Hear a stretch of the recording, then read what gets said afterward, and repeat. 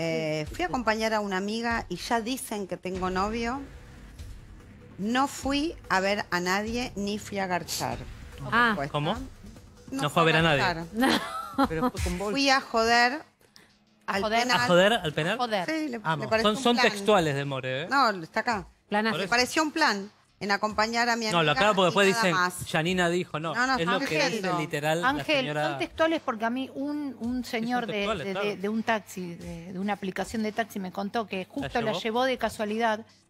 Dice que no podía creer las barbaridades que decía, no lo podía creer el, se- el, pas- el chofer. De las cosas que Sí, decía More. horrora, horrorosamente, hablaba todo el tiempo. Con malas palabras, Sí, así. con malas Sí. palabras todo el tiempo. Esto es en Córdoba, lo que estamos viendo aquí. Sí, porque está detrás. vestida diferente. Claro. Claro, otro Entonces, look. Córdoba ahí tiene la- las bolsitas de la ¿Está con pantuflas? Sí, está con... Con Unos pantuflitos. No tengo mucho que aclarar. Sí. Estoy soltera, ya te dije, me separé hace poco. Le insisto de Sí. quién se separó, no me lo quiso decir, me pone del chico con el que estaba. Sí. Le digo que se filtró un documento donde dice que ella visitó el penal, me lo, me lo pide el documento, se lo reenvío y me dice, es la primera vez que fui al penal y la última vez que fui. No hay chance de nada menos garchar. Lo conocí ese día porque la acompañó a la amiga. Le mando el papel, le mando todos los datos que yo tenía del chico detenido y me dice, lee bien el papel, ahí dice visita de salón, no dice que, yo no, yo no sabía que aclaraban salón y Claro. Me recalca que en ese salón, que es el pabellón 10, y me dice, toda esa gente que está ahí son los amigos, hijos, concubinos, todos los que fuimos y estás visi- me, O me sea, dijo, fue un salón general, no con un una, cuarto ella me dice a mí, yo te estoy leyendo, que fue un salón No, te pregunto porque hoy todos dijeron que es el novio, fue a tener la visita higiénica, que era lo que Y todos me dice, pensaban. boluda, lee bien, dice visita de salón, no visita higiénica. Se ve que maneja la, jar- la jerga carcelaria, yo no sabía eso.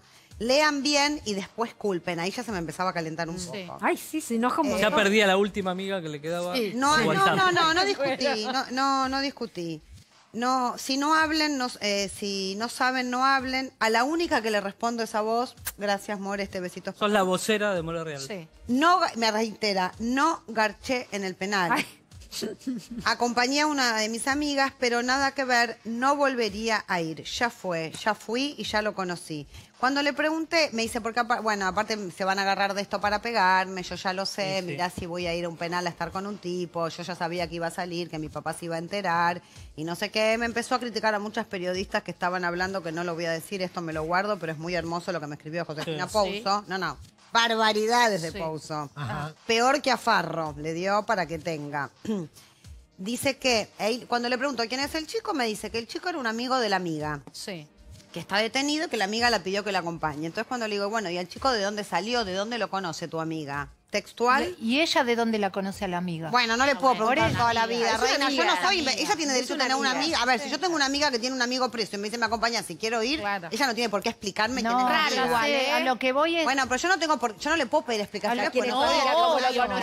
Yo la uso de fuente y le digo, mira, se filtró una foto tuya, están diciendo que tenés un novio en un penal. Yo cumplo De lo de con Bauer contar le lo que dice la fuente directa.